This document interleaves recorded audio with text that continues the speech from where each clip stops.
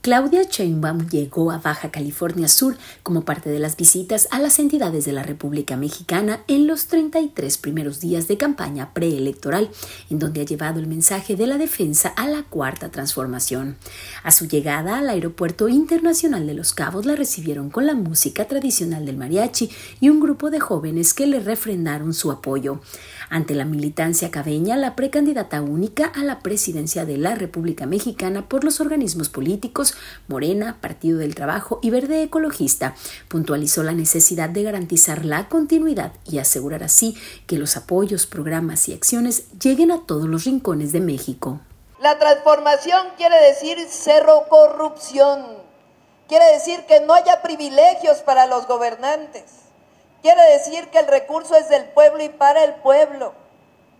Y eso va a ser el segundo piso de la transformación. Destacó que la prosperidad es compartida, si no, no es prosperidad. Dijo que su compromiso es generar sí inversiones, pero que éstas sean justas y en favor del pueblo con salarios dignos.